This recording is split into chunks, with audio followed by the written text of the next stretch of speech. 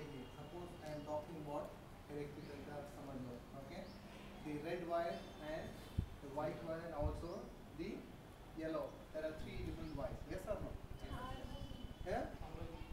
Correct. So उसको you go on telling them, showing them does not make any sense. But okay, जब वो cables लाके इनको practical कराते तब उसको mind में बैठ जाते so that okay, he will never make a mistake. Right? So which are very important for